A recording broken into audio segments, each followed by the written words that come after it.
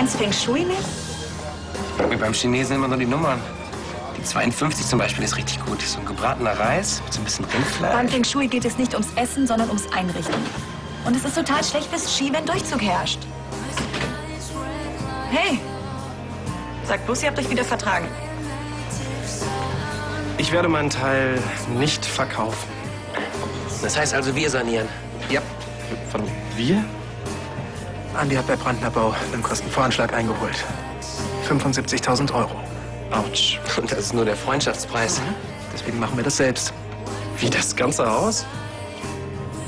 Wir sollen alle Türen austauschen, abgesehen von diesen Schimmelwänden. Wie sollen wir das denn bitte stemmen?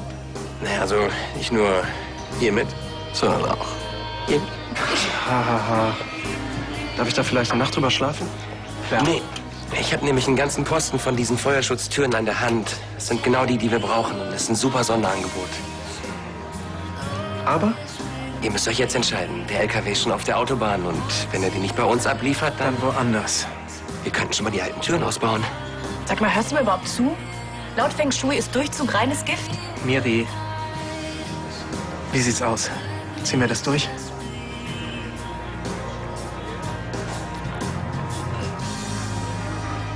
Klar, natürlich ziehen wir das durch. Wenn ihr die Türen gleichzeitig rausnehmt, fließt das Ganze wie Qi ab. Wenn Feng Shui nichts zu essen ist, dann lass mich damit in Ruhe, okay? Ja, aber sagt nicht, ich hätte euch nicht gewarnt. Olli, ich gehe wieder runter. Danke. Sag mal, kann mir mal einer erklären, warum die nicht mitarbeiten muss? Weil sie Schicht um No Limits hat. Ja, toll. Und ich habe ihr die Fingernägel lackiert. Du, das ist den Türen egal. Ja, wir haben da auch noch ein echtes Problem. Nämlich? Der Flur ist unten zu eng. Wir plotzen da ständig mit den Türen an. Komm, schmeißen wir die Türen einfach durchs Fenster in den Hof. Die brauchen wir doch eh nicht mehr. Kommt mit, ich zeig's euch.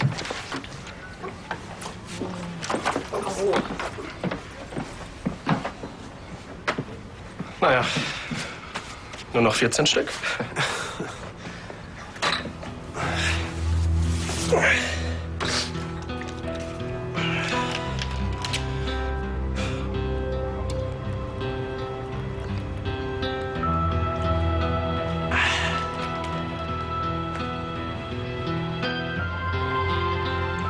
Ja, wenn wir uns beeilen, dann sind wir in zwei Stunden durch.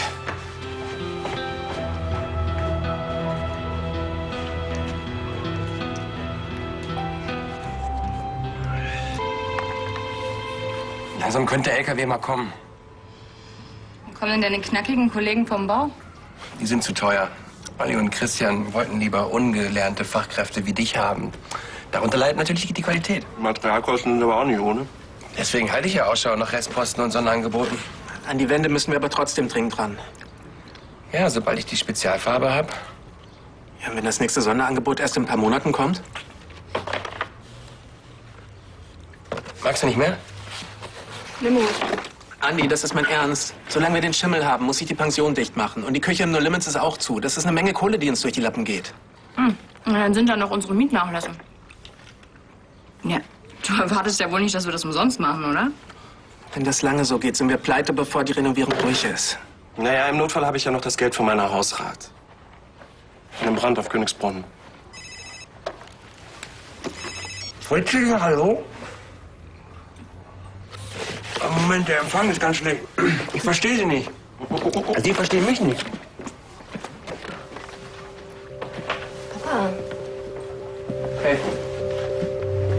Ist alles in Ordnung? ich muss mit dir reden. Aber nicht hier. Ja, klar.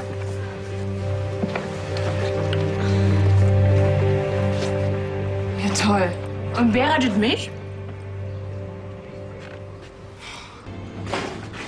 Ah, Das habe ich ja ganz vergessen. Ich habe noch einen ganz wichtigen Termin. Keine Chance, Jessica. Hättest du wirklich einen Termin, wäre das definitiv schon früher eingefallen. Jetzt sieh's mal so, jetzt sind deine Fingernägel Eh schon ruiniert. Leute, wir haben ein Problem. Unser LKW-Fahrer, der hat seine Lenkzeit überschritten und jetzt muss er acht Stunden Pause machen auf einem Rastplatz in Koblenz. Wie, das heißt, die Türen kommen heute nicht mehr? und die Alpen liegen kaputt im Hof.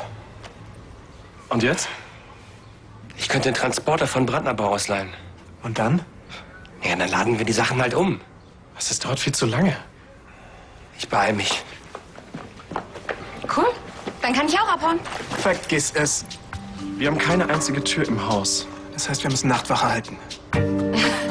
Das ist jetzt nicht euer Ernst, oder?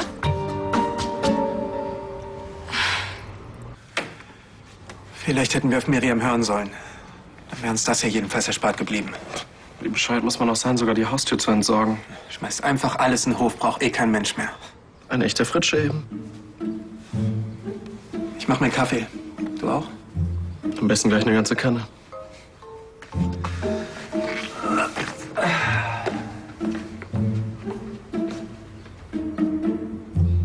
Super, Jungs. Dann schieben die mich auch noch nach unten ab.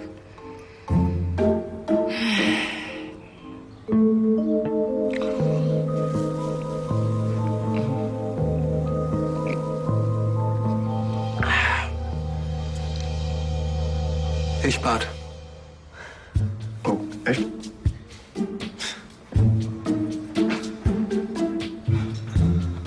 Super, dass ihr mir auch eingemacht habt. Keine Ursache? Wirklich witzig. Bin ich auch. Jungs, ist mal im Ernst. Ist echt öde da unten. Wir schicken dir das Pferdemädchen vorbei, wenn sie zurück ist. Versprochen. Nein, nicht das Pferdemädchen.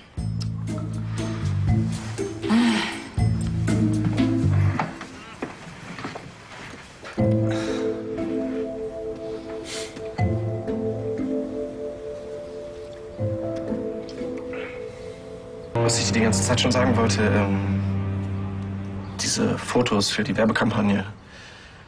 Ich habe letztens so ein Plakat gesehen und da dachte ich, wow. Ich jetzt? Ja, was? Man kann seine Meinung doch mal ändern, oder? Aber deine Haare, sag mal, haben die irgendwie die grauen Haare weggemacht? Das war retuschiert. Die mochte ich immer so. Ich hol noch mal Nachschub.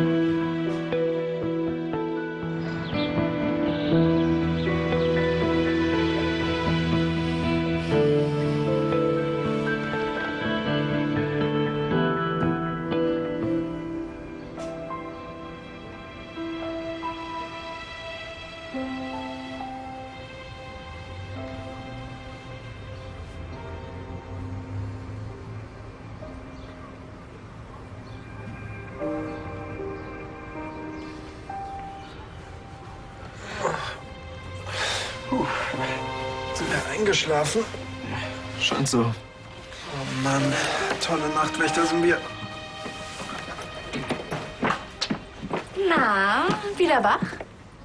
Was? Wir haben nicht geschlafen. Gebt euch keine Mühe, Jungs. Ich war vorhin schon mal oben.